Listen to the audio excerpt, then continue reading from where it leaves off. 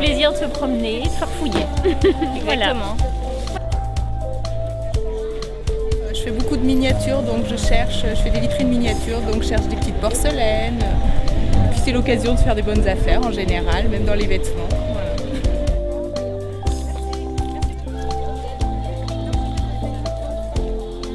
On a acheté une maison il y a un an à peu près à Chaponneau. Et euh, la maison était remplie, c'était une dame âgée qui était décédée et son fils euh, habitait à Paris. Et du coup bah, on avait pas mal de, de choses à vendre, donc euh, on s'est inscrit au vide-grenier pour, euh, pour faire un peu de place dans la maison. Ah, Qu'est-ce que je cherche? Bah, La braderie, euh, distraction, il y a plein de choses qu'on peut euh, visualiser sur les stands.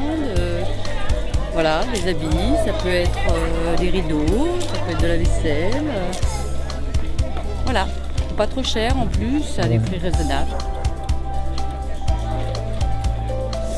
Bonne fréquentation, très sympathique. Ça marchande un peu trop, mais bon, qu'est-ce que vous voulez faire hein? Les années 50, 60, le mobilier en couleur des années 60. Mais sinon, euh, il y a des amateurs pour tout. hein. Des classiques, des anciens. Ça, marche plutôt pas mal, euh, dès, lors que les, objets sont en bon état et euh, on trouve toujours acquéreur.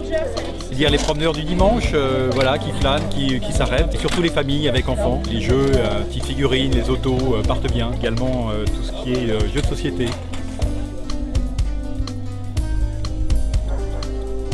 Chaponneau, c'est une bonne petite ville, euh, très belle brocante, avec beaucoup de monde. euh, on, la- on la refera, ça c'est sûr, parce que c'est vrai que c'est vraiment une brocante euh, intéressante.